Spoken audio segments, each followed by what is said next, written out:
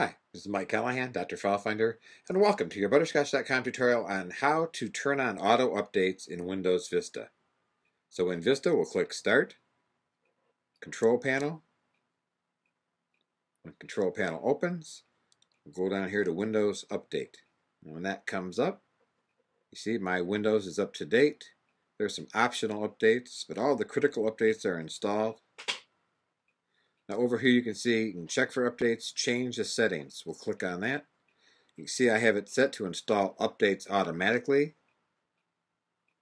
Install the new updates every day at 3 a.m. And now there are other options available. Download updates but let me choose whether to install them. Check for updates but let me choose whether to download or install them or turn them off. Well, having been in computers for all these years, my advice to you is that you pick this option. It's really the only option that makes any sense. And that's to install updates automatically, to install them every day, and to pick a time of your choosing. I pick 3 a.m. because it's done before I start working at 5 a.m. and I don't have to think about it. You can also check the box down here to include recommended updates when doing your updates.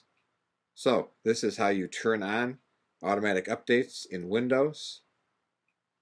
These other options shouldn't even be considered.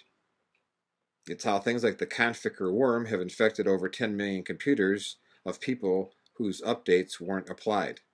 So, do yourself a favor, turn on automatic update, updates, have them update every day, and protect your computer. And that's all there is to it.